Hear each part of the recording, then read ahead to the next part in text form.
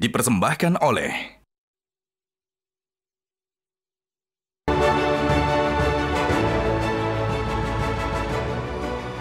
Para pemirsa, malam semakin larut, tapi kenapa Hotman tetap segar? Tadi sebelum mulai acara ini, saya selalu minum dulu kopi luwak hitam premium. Kesayangannya Hotman dan Sintayong, pelatih timnas bola nasional. Aman di lambung. Ibu Mutia, sebelum saya tanya ke ahli sertifikasi elektronik, apa yang terjadi dengan penyalahgunaan data pribadi ini yang menurut pengamatan Anda? Ya, jadi kalau tadi aku ngikutin kan sebelum masuk ya. Jadi Ya. Mbak Desi sama eh, Pak Lutfi dengan 27 orang yang lain tuh ya korban gitu ya Bang. Dan Korban? itu harusnya mereka nggak terkena ranah tetap harus bayar gitu ya. Harusnya banknya terutama yang pertama tadi kan OJK tuh sempat bicara ya Bang Ya. bahwa kalau yang ilegal mereka nggak bisa itu nggak di bawah ranah mereka. Tapi kan Oke. satu ini bank besar BNI. Ya. Jadi OJK juga seharusnya nggak bisa bicara bahwa ini eh, bukan di ranah kita. Harusnya gitu. kalau bank tidak Harusnya hati-hati ada aturan membuka yang rekening sesuai aturan, Karena OJK harusnya itu OJK kan berhak mengawasi gitu. mengatur eh, jasa keuangan gitu. Ya. Dan kalau undang-undangnya belum ada, OJK mungkin masih bisa ngeles seperti itu. Tapi Ya. kita tuh sudah melahirkan undang-undang perlindungan data pribadi. Ya. Kita sudah menghasilkan undang-undang eh, informasi transaksi elektronik yang mengatur bahwa memang harus ada verifikasi, memang harus ada sebuah eh, pemberian konsen atau izin yang eh, apa namanya yang aman Oke, untuk kemudian bisa mengambil data dan memproses data.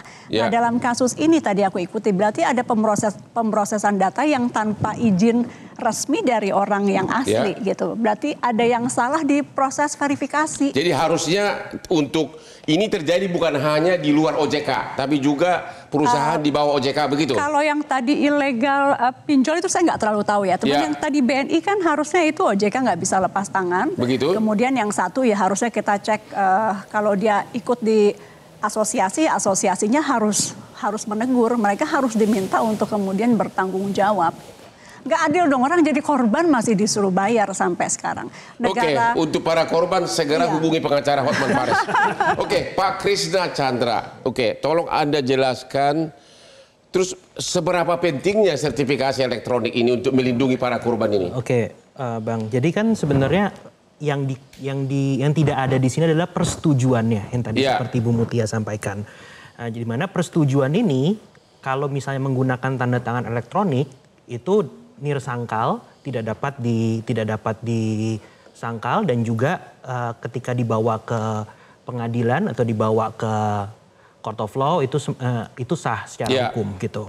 Nah, di mana kan sebenarnya karena ada pencurian data pribadi ini itu sebenarnya merugikan semua pihak. Iya. Baik itu merugikan pihaknya korban, merugikan juga pihaknya LJK dalam hal ini karena Iya. nggak bisa lepas tangan gitu kata Iya. tadi kan. Di mana sebenarnya tanda tangan elektronik ini bisa menjadi solusi nih Cara solusinya gimana? Siapa Solusinya. yang harus memberikan? Oke, jadi eh, ketika pertama kali orang tersebut mendaftar, maka kan akan disertifikasi, akan Ya. diberikan sertifikat elektronik. Mendaftar ke mana? Mendaftar ke fintech atau ke bank atau Hmm. ke mana pun itu, maka akan diveri- di- diverifikasi dan akan diterbitkan namanya sertifikat elektronik. Ya. Nah, setelah sertifikat elektronik ini nanti bisa dipakai untuk menandatangani dokumen secara elektronik yang itu nirsangkal Ya. gitu. Yang di mana ketika nanti terjadi masalah gitu dari proses verifikasi yang dilakukan oleh PSRE, Ya. ada yang namanya kebijakan garansi. Ya. Yang di mana akhirnya kita atau kami kalau misalnya terjadi kesalahan verifikasi di tempatnya kami, itu kami juga liable tuh untuk bisa mengganti kerugian yang namanya sertifikat warranty. Jadi di ar- situ. artinya perlu ada lembaga yang memberikan fasilitas sertifikasi elektronik Bang. ini. Betul. Yang sekarang ini pemerintah belum ada.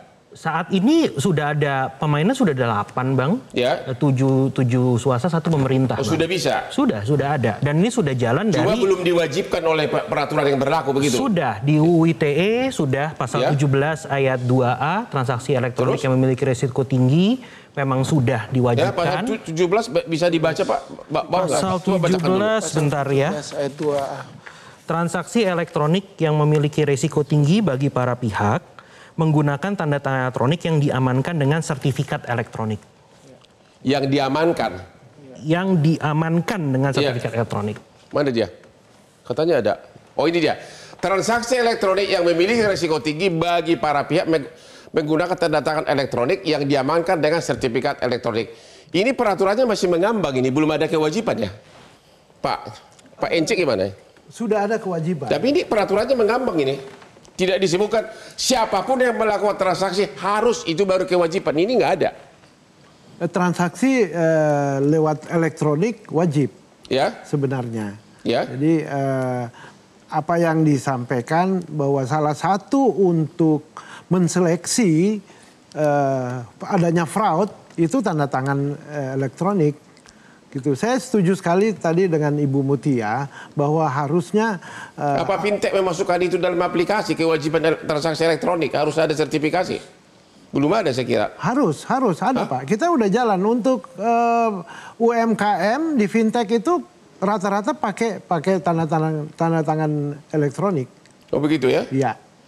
Oh, Jadi aku tambahkan ada karena ini undang-undang kita yang buat nih. Bang. Ini ada pasal penjelasannya. Yaitu? Pasal penjelasannya adalah yang dimaksud dengan transaksi elektronik resiko tinggi antara lain adalah transaksi keuangan yang tidak dilakukan dengan tatap muka secara fisik.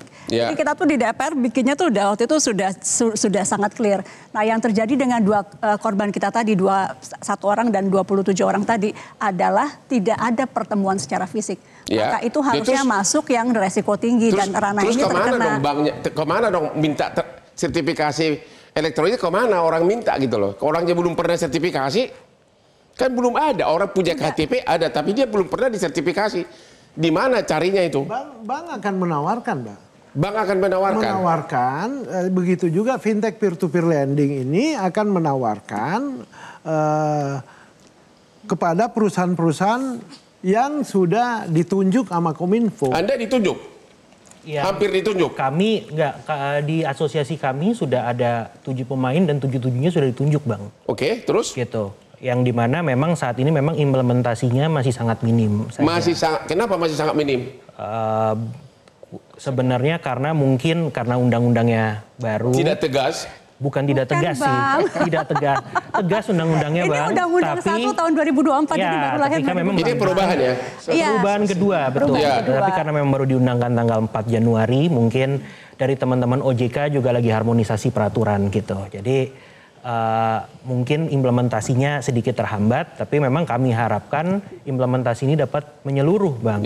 Hotman. Oke, DPR melalui Zoom ya?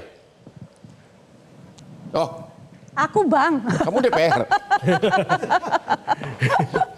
Saya singkatnya selalu reporter senior. Biar.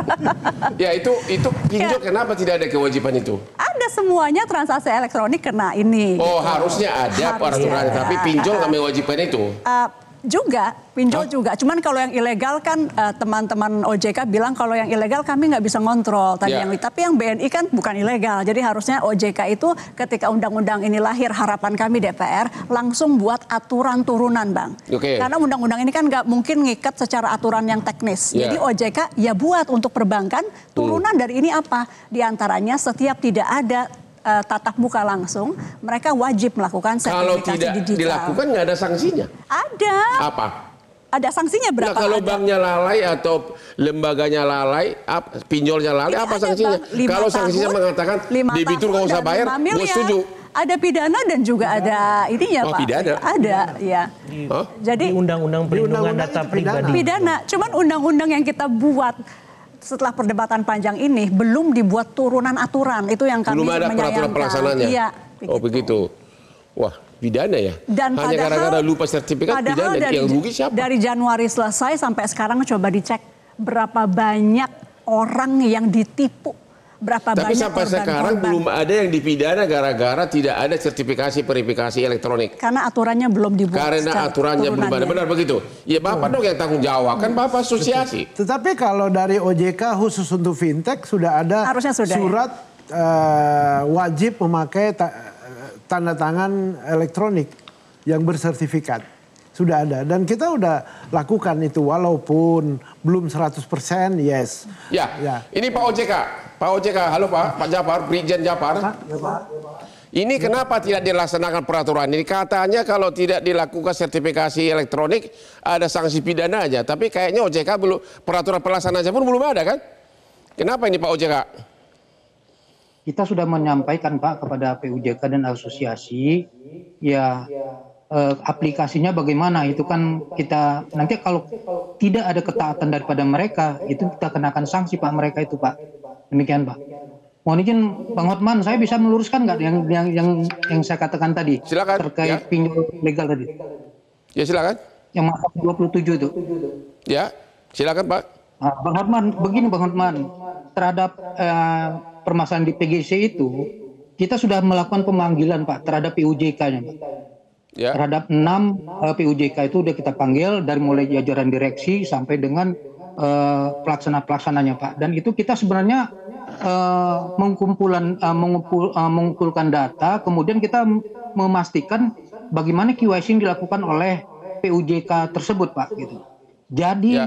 manakala nanti jika ada kelalaian dari PUJK di dalam eh, pelaksanaan eh, pengaplikasian eh, pinjol tadi itu Pak, PUJK lalai, maka itu untuk yang eh, nasabahnya mungkin kita bisa dapat terselesaikan Pak. Kalau PUJK-nya lalai gitu Pak. Aplikasinya nggak dicabut, Pak. Tidak kenakan saksi Pak. Aplikasinya nggak dihapus, dicabut.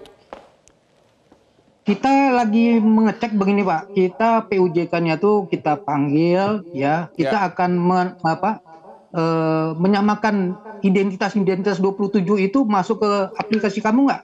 Kita coba. Oke. Kita ambil tuh ininya Pak. Tadi seperti yang ini Pak ya, eh, face recognition tuh dilakukan nggak? Oh ini ada Pak. Kemudian nanti KTP yang difoto eh, yang secara langsung itu yang dikatakan dari AFP itu di- yang dari beberapa posisi dilakukan nggak? Nah, kemudian itu nanti dilakukan nggak dengan cek di Dukcapil gitu, Pak. Nah, Ya. itu data-data itu kita mintakan, Pak. Dan ini dalam tahap dalam tahap itu, Pak, pemeriksaan kita itu, Pak. Nah, dalam waktu dekat ini kami akan melakukan pemanggilan untuk eh, 27 daripada eh, eh, teman-teman kita yang yang dikatakan menjadi korban ini, Pak. Demikian, Pak. Sebagai pengacara, saya sarankan kepada OJK dan kepada DPR agar bikin peraturan setiap pelaksana bisnis ini yang lalai melaksanakan kehati-hatian maka tidak berhak menagih. Itu adalah sanksi yang paling kejam. Tidak berhak menagih tagihan tersebut. Oke, kita istirahat dulu. Bagi yang korban siap-siap datang ke Hotman Paris.